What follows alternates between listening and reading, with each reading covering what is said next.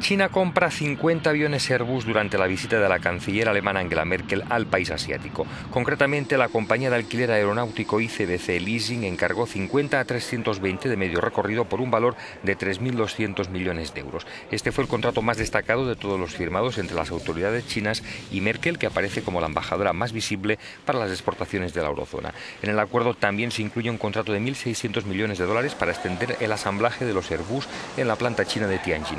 Se trata de la primera compra del país asiático después de que bloqueara otros pedidos por la tasa sobre las emisiones de CO2 por parte de la Unión Europea.